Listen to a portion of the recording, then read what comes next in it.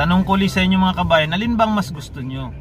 Ano bang mas gusto nyo? Yung Manila Bay or Manila Beach na may basura?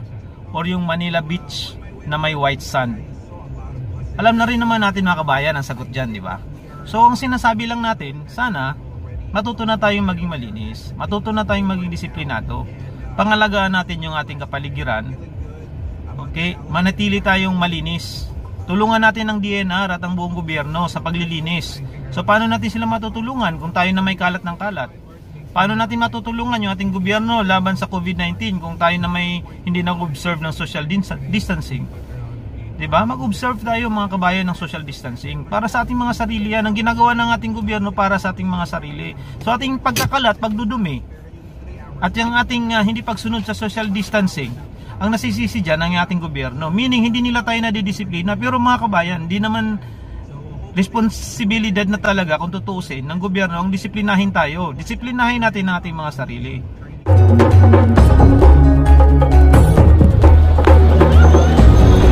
We're trying to stay as wide as possible Yes. on the crossing. This is so busy. I cannot tell you. Oh my god.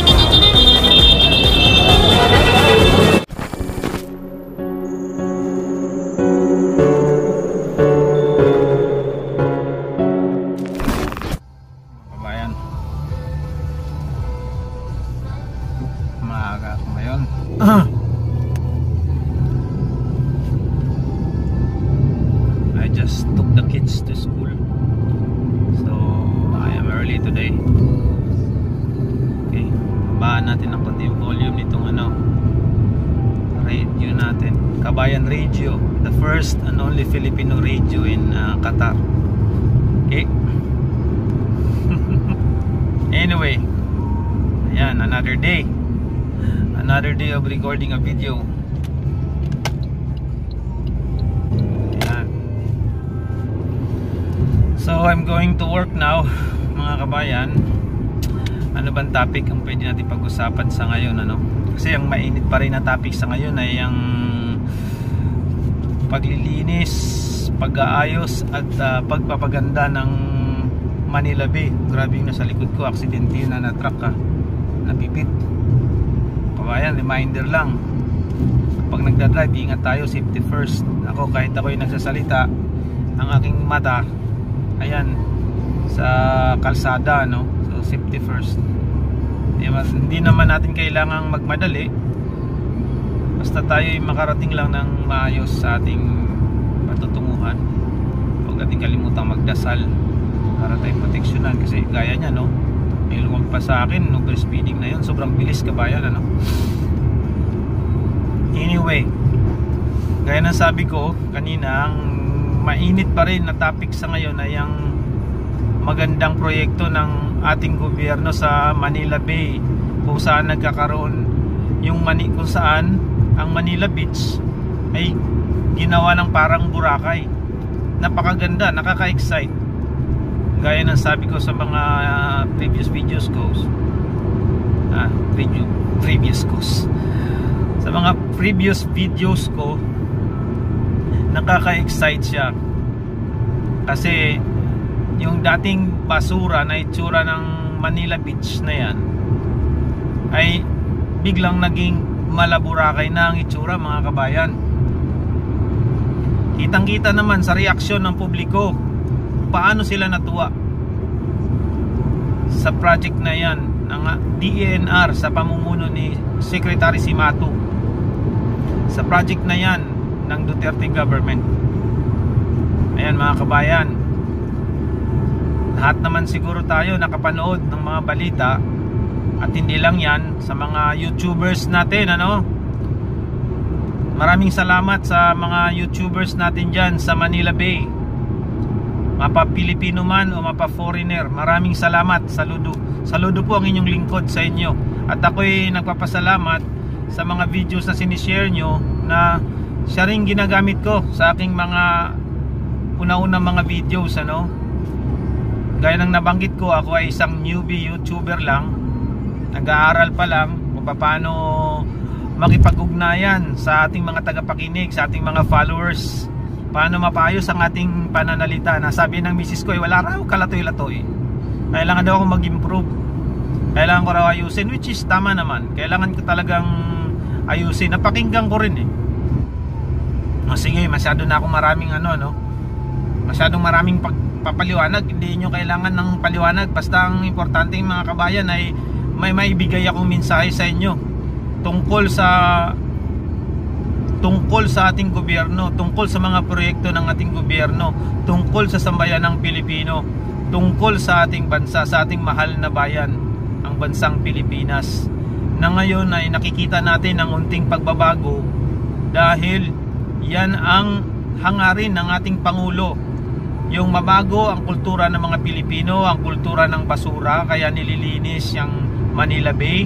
Hindi lang naman Manila Bay ang nililinis ng DNR at ni Secretary Simatu pati yung mga estero dyan sa Maynila. Kita nyo naman ako yung nakatira sa Maynila dati dahil dyan ako nag-aaral sa Technological Institute of the Philippines dyan sa May sa likuran lang ng aming eskwelahan ay meron dyang estero. Hindi ko alam ang pangalan kasi wala akong pakinon. Wala akong pakinon sa estero pero nakatira kasi dyan napakaraming squatters sa tabi ng eskwelahan namin maraming squatters. So, yan, nililinis yan ng DNR at ang iba't iba pang mga estero sa tulong ng gobyerno ni Mayor Isko Moreno. Or, or kahit na wala pa nun si Mayor Isko Moreno si era pang mayor dyan sa Maynila inumpisahan na ng DNR yan sa pamumuno ni Secretary si Mato ano pati Pasig River tuloy-tuloy so lahat yan lilinisin lahat yan aayusin ang sa atin lang naman kabayan, ano, ang may si-share ko lang sa inyo at inihiling ko lang sa ating mga kapwa Pilipino, huwag nating sayangin yung Manila Beach na yan na may white sand na malaburakay na parang na mala Miami Beach, South Beach, Florida. Yan. Okay, balik tayo mga kabayan sa sinasabi ko kanina na huwag nating sayangin yung uh, Manila Beach na yan na may white sand. Sana matuto na tayong maging malinis. Matuto na tayong maging disiplinado. Huwag po tayong tapon ng tapon ng mga basura. Okay? Nakaka-disappoint nga yung nangyari doon sa pagbukas ng Sabado at Linggo. Yung excitement, yung tuwa natin medyo natakpan ng hindi natin pagsunod sa batas tungkol sa social distancing Okay? Yan ang sinasabi ko mga kabayan. Maging disiplinado na tayo. Implement na natin yung disiplina. Kaming mga OFW, karamihan sa amin dito, sumusunod talaga sa batas. Sumusunod, nahihiya kaming tapon ng tapon lang dito sa Qatar. We observe cleanliness. We, uh, we follow, we observe discipline. We follow rules and regulations dito sa Qatar. Ganun na rin po sa mga ibang bansa. Karamihan karamihan sa mga Pilipino, sabihin natin 95% kasi meron pa rin konting pasaway, okay? Na talagang disiplinado na, talagang natuto na. Sumusunod, natuto ng sumunod sa batas. Nagkakaroon na rin ng self-discipline dahil sa pagsunod sa batas. Kasi unang-una dyan, self-discipline talagang kailangan at sense of responsibility. Maging responsable tayo sa ating mga ginagawa gawin natin yung tama. Kung alam nating mali, wag na nating gawin mga kabayan. Gaya ng gaya ng nagkakadikit-dikit tayo sa panahon ngayon ng COVID, which is wrong. Which is wrong. Mag-enjoy tayo but safety first. Hindi lang safety para sa ating mga sarili. Safety na rin mga kabayan sa ating kapwa, sa ating mga kapwa Pilipino sabi nga, makalagay nga sa Biblia, no? Hindi ako reliyo sa mga kabayan ha. Sinat natutunan ko lang, okay?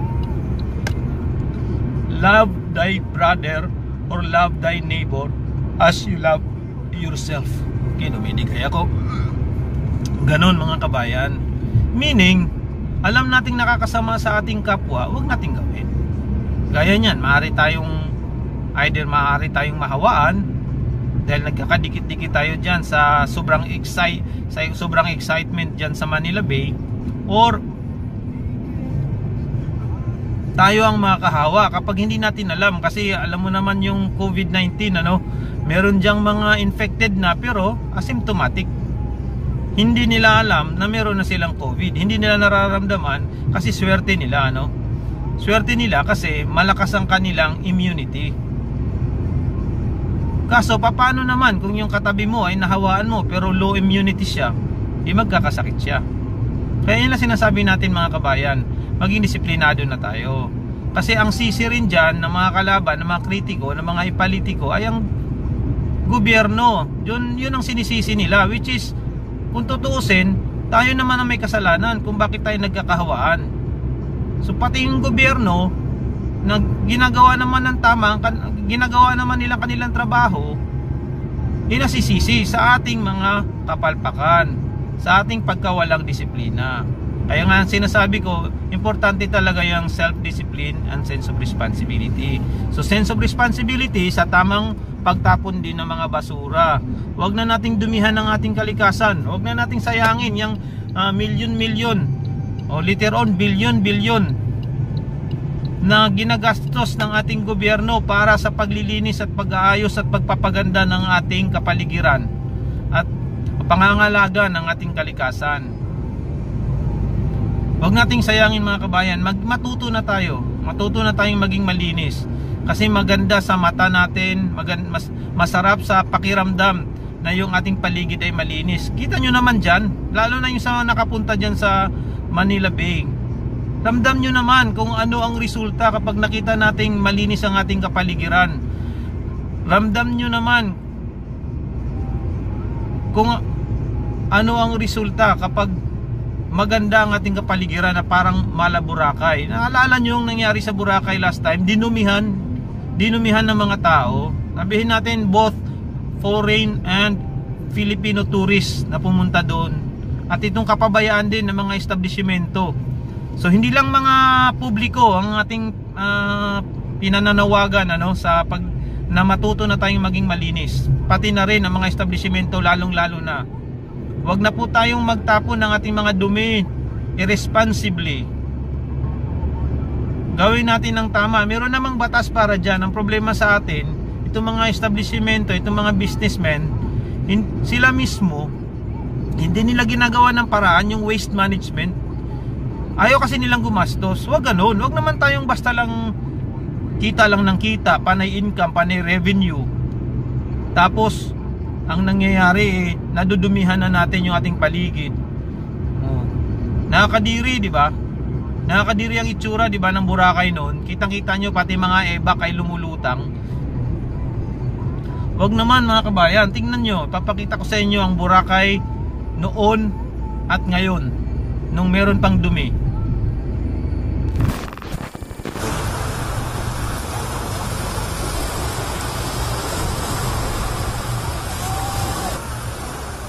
I will close Boracay. Boracay is a cesspool.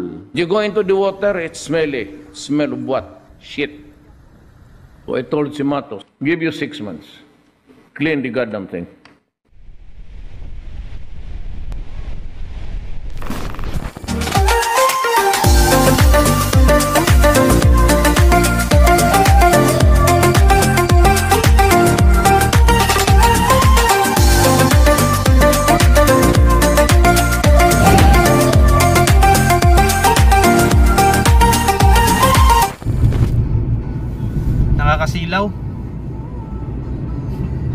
Kita nyo mga kabayan yan nakakasilaw.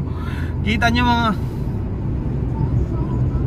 kita nyo mga kabayan yung pagkakaiba di ba? Alin ang gusto nyo? Yung marumi maruming Boracay o yung malinis na Boracay nasa atin yan. Nasa atin ang kalinisan. Kapag tayo pumunta hindi lang sa Boracay sa ating paligid mismo sa ating pamamahay no, sa ating paligid. Maglinis tayo maging maayos tayo. O o tingnan nyo kabayan ang kaibahan ng ah, Maynila noon at ngayon. Hindi pa tapos ha hindi pa tapos ang ginagawa ng DNR pero tingnan nyo ang kaibahan ang malaking kaibahan. Alin bang gusto nyo? Yung puno ng basura o puno ng white sand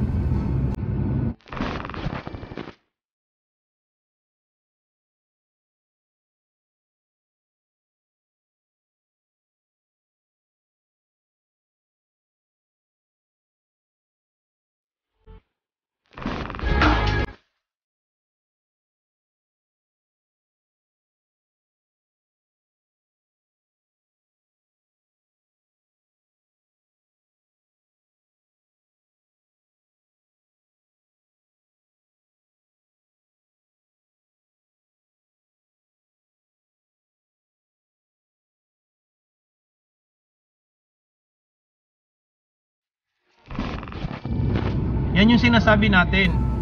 Minsan eh ang galing nating kumontra sa mga kritiko. Kakasilaw.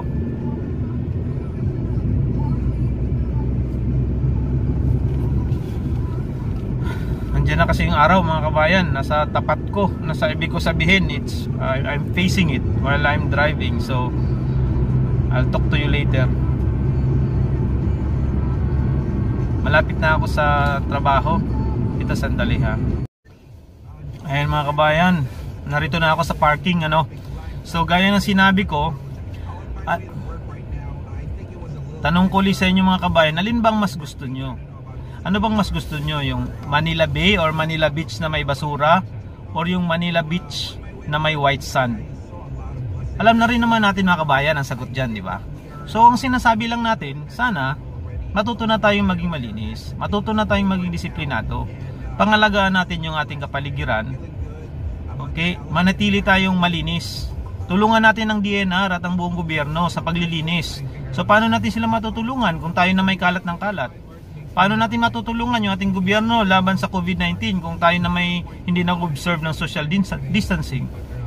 'Di ba? Mag-observe tayo mga kabayan ng social distancing para sa ating mga sarili yan ang ginagawa ng ating gobyerno para sa ating mga sarili. So ating pagkakalat, pagdudumi at yung ating uh, hindi pagsunod sa social distancing ang nasisisi dyan ang ating gobyerno. Meaning hindi nila tayo nadidisiplina pero mga kabayan, hindi naman responsibilidad na talaga kung tutuusin ng gobyerno ang disiplinahin tayo. Disiplinahin natin ang ating mga sarili.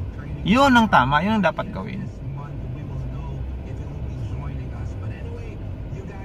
Di ba mga kabayan? O siya hanggang dito na lang. Pagpasensyahan nyo na mga kabayan ang aking uh, pagrarant ano? Ang aking pag uh, pagpasensyahan nyo na kung ako'y na medyo nangaral sa video na ito hindi naman po pangaral yung sa akin. Ang sa akin ay paalala lang na tayo ay maging uh, na tayo ay dapat disiplinahin ang ating mga sarili. Sumunod tayo sa batas. Pangalagaan natin ating kalikasan ilinisin natin ang ating kapaligiran para tayo ay happy lahat. 'Di ba? Ganon 'yun mga kabayan.